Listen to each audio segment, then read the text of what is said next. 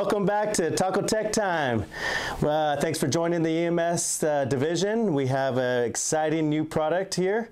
Uh, that we're going to be showing you here is the Ad 4 Advanced Pro. So shout out to 2s, 20s, 56s, and 6s. Thanks crews for test trialing our new glucometer. They did vouch for it and said this is the way, the city way. So The way. This is the way. This is the way. I am confident that most of you will all like it. There'll be very minimal to no mistakes uh, or errors, hopefully. Cross our fingers, right?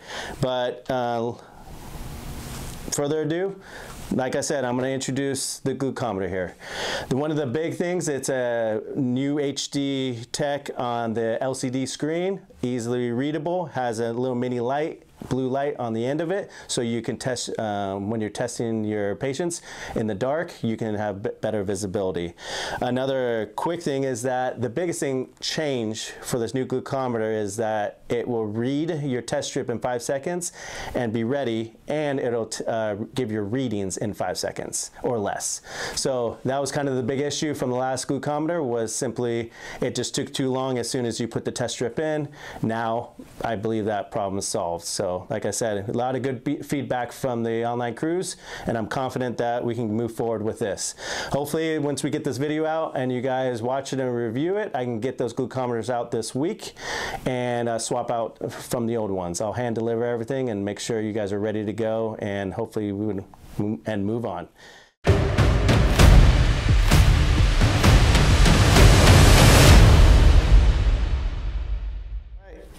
This section of the video, we're just going to show you how to use the control solutions. You want to use the control solutions uh, as soon as you get the monitor and then at least once a month. And or if you get inaccurate readings, that's another time you want to do it. If everything's running fine, okay, a monthly check is a good uh, idea to have. These will be in our, your, your glucometer case as well.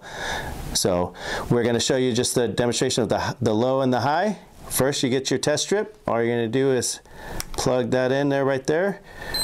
You'll hear the ding for it to be ready. Grab your low control solution, add a little dab on top, and then you're going to dip the test strip in. Wait for that beep, and you'll get the five second countdown. And now you get your reading right there. Look on the test strip bottle. The low runs from 29 to 59. You'll see it on here, and it's obviously uh, in the right setting. Next, you're going to do the same thing. Take another test strip out. And just simply place the test strip in. Grab your high now solution. Place the drop on the very top.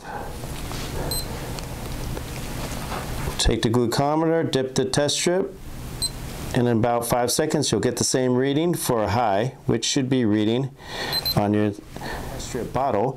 And at the high range, you should be at 274 to 370. So it's in within range and working properly. That's how you use your control solutions.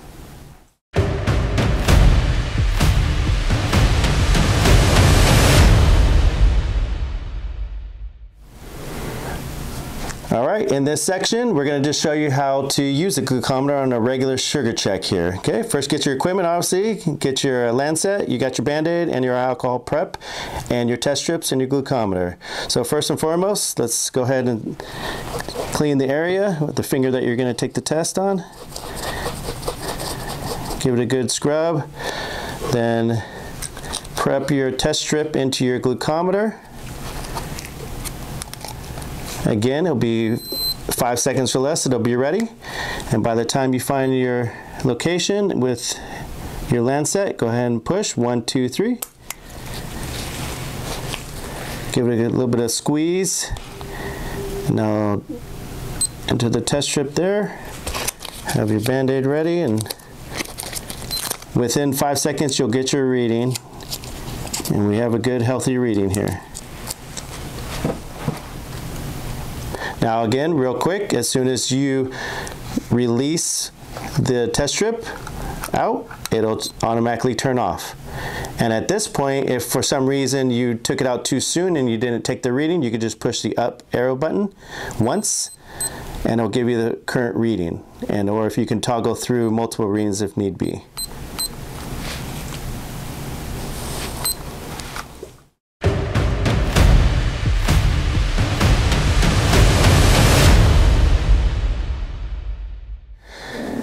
All right, in this section, we're going to do some common error codes. Uh, there are about nine of them, but realistically, there's going to be four that potentially could come up uh, that are common. The first one is going to be an EB code, which simply means you have to replace the double A, AAA batteries in the back.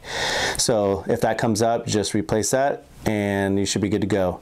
The next one is if you test the blood too soon, we're going to use the control solution as an example of blood. So this would mimic the error code EU. So as, as you push it in, you're coming and trying to grab the control before you see the, the beep on there. So as soon as I took the sugar too, soon, you get that E dash U.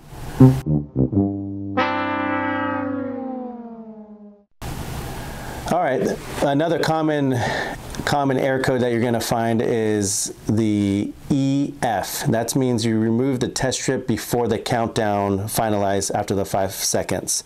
So to mimic that, we're going to go ahead and enter your new test strip and pretend we're going to go ahead and grab a test of blood when it's ready.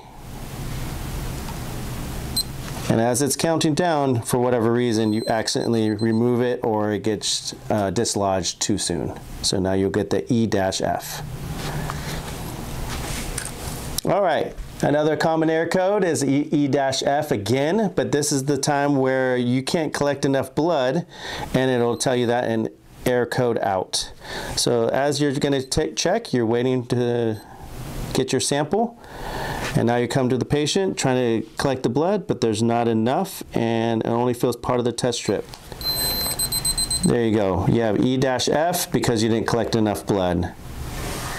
And one last error code, just because it is relative to us in Sacramento, is E-T, which is your temp.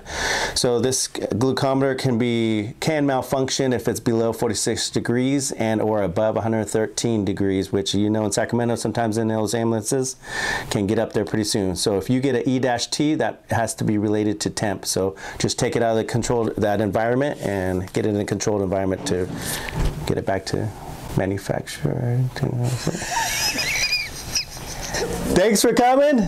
Thanks for your time with Taco Tech Time. Glucometers are coming out soon. A couple things to remember is remember the air codes EB, EU, EF, and ET. All right. And a couple other things too is times out after three minutes once you have the test strip in. Also, the auto shut off will happen when you take the test strip out but the memory, of course, will always be there as soon as you push the up, up arrow button on the glucometer itself. All right, and lastly, do not throw it away. We'll come and replace it. Uh, come to SSC, come to EMS Division, or EMS 2223 will help you out. And again, thank you so much for coming.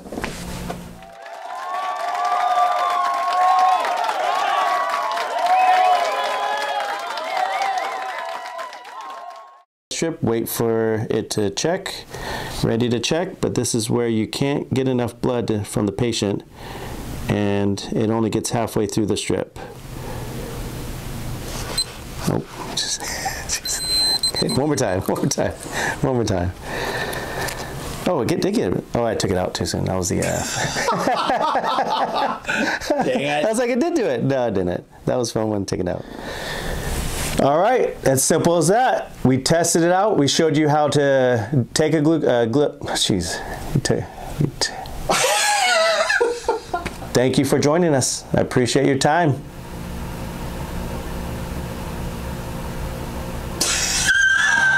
Couldn't think of anything. Could not think of anything.